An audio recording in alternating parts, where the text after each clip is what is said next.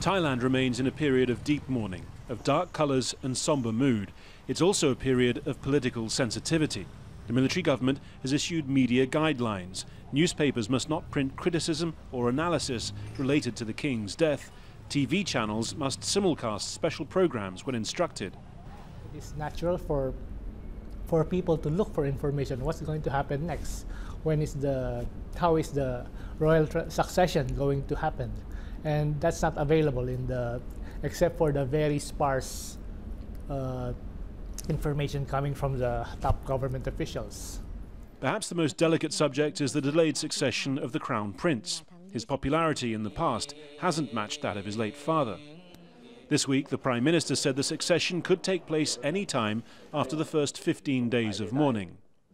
Later on, okay, when people um, can can control their their mind, they control their their emotion, you know, uh, we can they can start to know what's going on after this.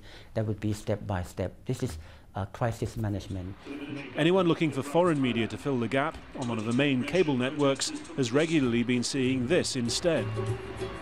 The company, True Vision, has been recruiting online for students to watch and help block Al Jazeera and the BBC.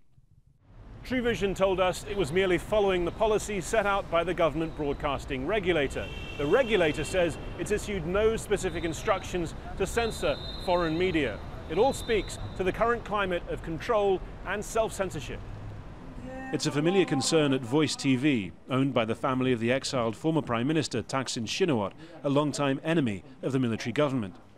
The host of the show, The Daily Dose, says ever since the 2014 coup, too big a dose of critical opinion could lose his station its government-issued license. Previously, I was kind of like, I was kind of seen as the uncensored guy.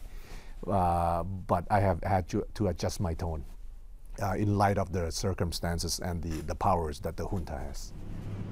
In Bangkok, workers have been changing public portraits of the king for images more appropriate to the year of national mourning.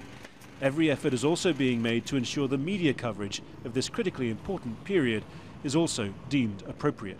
Harry Fawcett, Al Jazeera, Bangkok.